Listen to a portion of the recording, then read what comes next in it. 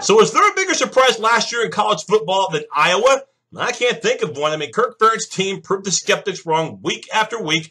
An undefeated regular season and just about crashing the college football playoff party, only to lose to Michigan State in the final minute of the Big Ten championship game. Still, though, solid year for the Hawkeyes, and entering 2016, they'll again be led by the best defensive back in the country.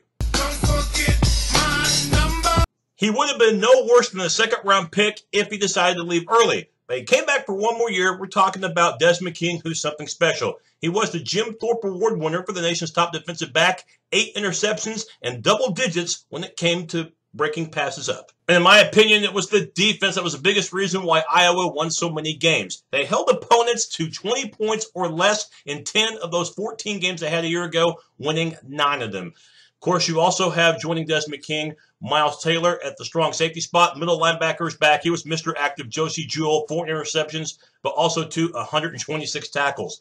One area of concern for Iowa going to be rushing the quarterback, and they had two good ones a year ago in Drew Ott and Nate Meier, but they both graduated. So we'll see how the rest of that defensive line does if they can pick up the slack. Um, Anthony Nelson, he is a true freshman, should play. And also, too, you have uh, Jaleel Johnson at the defensive tackle spot. Again, Iowa was so solid last year on the defensive side. It's a good thing the Hawkeye D usually came ready to play because sometimes the offense lacked big playability. In fact, quite often. That's why that ranking for total offense is as low as it was. In fact, the team did not even average 400 yards of total offense per game. But often quality is better than quantity, and Iowa very seldom turned the ball over. In fact, CJ Beathard, who returns at QB, threw only five picks. So he managed the game well. Running game, you have LeShun Daniels, who rushed for eight TDs a year ago.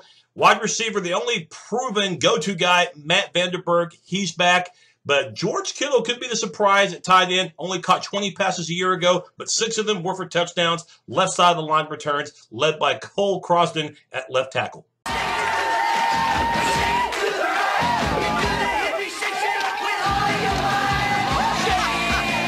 Time now for my six pack of games to consume. And just like last season, Iowa has a very manageable schedule. In fact, they should be 7 0 entering their October 22nd showdown against Wisconsin. There's the Penn State game, which could be tricky, but Iowa gets two weeks to prepare for it. And of course, the Hawkeyes will wrap up against Big Red the day after Thanksgiving.